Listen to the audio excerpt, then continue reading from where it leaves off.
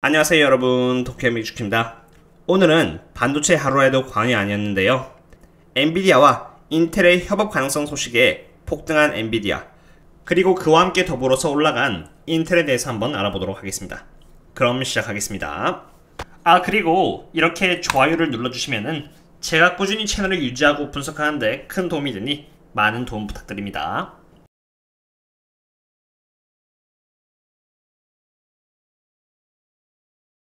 엔비디아의 주가가 9%나 상승할 수 있었던 이유는 다음과 같은 뉴스 기사 때문이었습니다. 엔비디아의 CEO인 황 젠슨이 인텔의 파운드리를 사용하는 것을 고려하고 있다였는데요. 이 말인 즉슨 GPU 생산을 인텔에 위탁하겠다는 것을 의미합니다. 황 젠슨이 이러한 말을 한 이유는 인텔의 최근 행보와 연결이 되어 있는데요.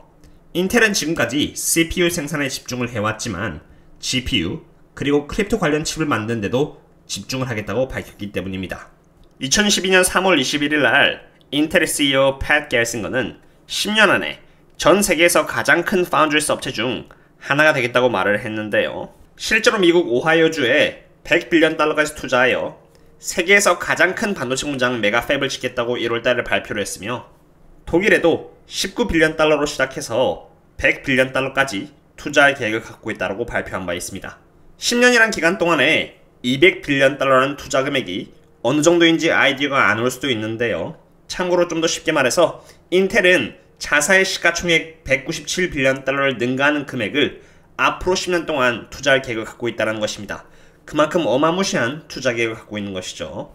이처럼 인텔은 오하이오 그리고 독일을 대상으로 해서 2025년에서 2027년까지 200빌리언 달러를 투자하겠다고 밝혔는데 이미 매년 약 13빌리언 달러에 달하는 액수를 R&D에 투자하고 있고 이러한 부분까지 총 투자 금액에 감안시킨다면 인텔은 2027년까지 매년 50빌리언 달러에 달하는 금액을 투자하는 셈이고 이러한 액수는 엔비디아의 연 매출액 26빌리언 더하기 AMD의 연 매출액 16빌리언 달러를 더했을 때 나오는 32빌리언 달러를 넘어서는 액수입니다.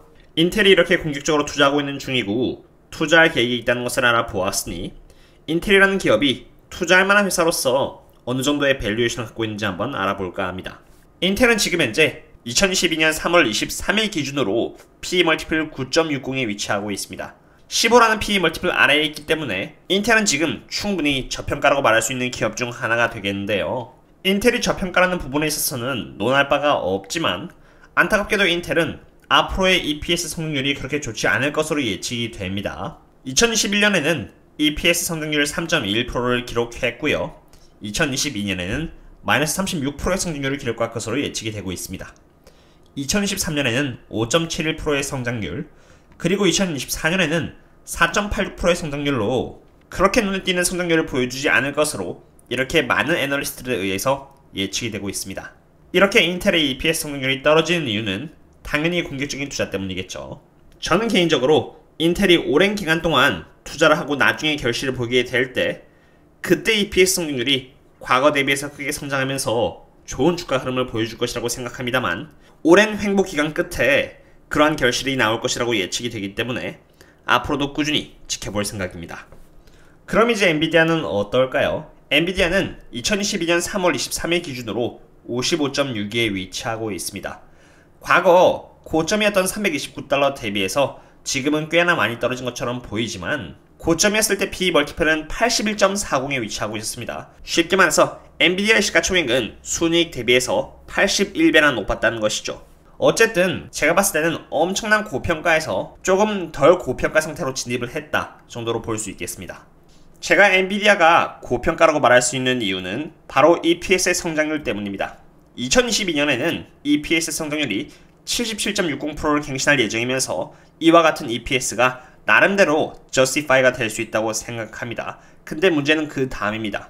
아무래도 2022년에 너무 높은 EPS 성장률을 갱신해 주었다 보니까 2023년에는 이렇게 27.14%라는 성장률, 2024년에는 16%, 2015년에는 16%로 성장률이 과거 대비해서 조금 줄어들 예정이라는 것을 이렇게 많은 애널리스트를 통해서 볼 수 있습니다. 2012년부터 2015년까지 엔비디아가 평균적으로 보여줄 수 있는 EPS 성장률은 19.99% 정도이고요. 이것에 비해서 지금 엔비디아가 보여주고 있는 PE 멀티플은 55.62이니 성장률 대비해서 꽤나 고평가라는 결론이 나올 수 있는 것이죠.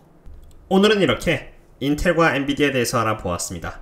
인텔의 경우 굉장히 저평가이긴 합니다만 앞으로 200빌리언 달러의 자금을 이용해서 오랜 기간에 걸쳐 투자를 할 계획인 만큼 성장률이 앞으로 3년 동안은 그렇게 높지 않을 것으로 분석이 됩니다.